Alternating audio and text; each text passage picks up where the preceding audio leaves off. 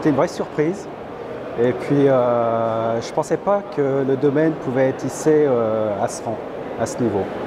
Parce qu'on euh, ne fait pas partie du GOTA en général, des gros domaines institutionnels, où il y a des appellations, du terroir, donc non.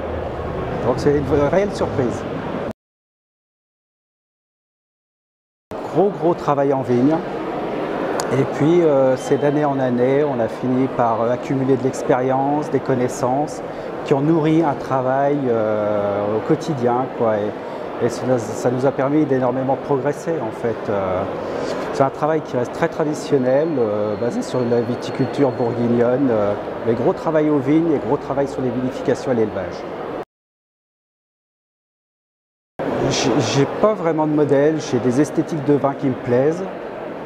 Au fur et à mesure de mes connaissances acquises en dégustation, il y a des vins qui me plaisaient, il y avait de la tension et j'ai essayé de tendre vers ce modèle-là, tout simplement. Et donc euh, voilà, le but c'était de rechercher euh, les éléments nécessaires pour euh, y arriver.